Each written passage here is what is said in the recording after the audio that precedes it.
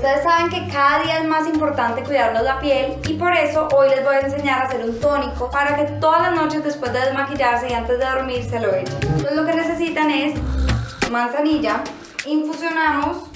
tres bolsitas en agua caliente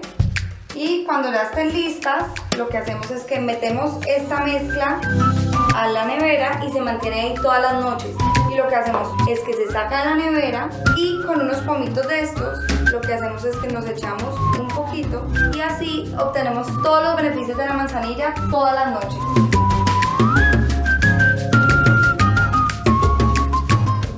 Es así de simple. Simplemente lo guardamos frío y mantenemos un tónico que nos va a durar muchísimo tiempo y sin ningún esfuerzo.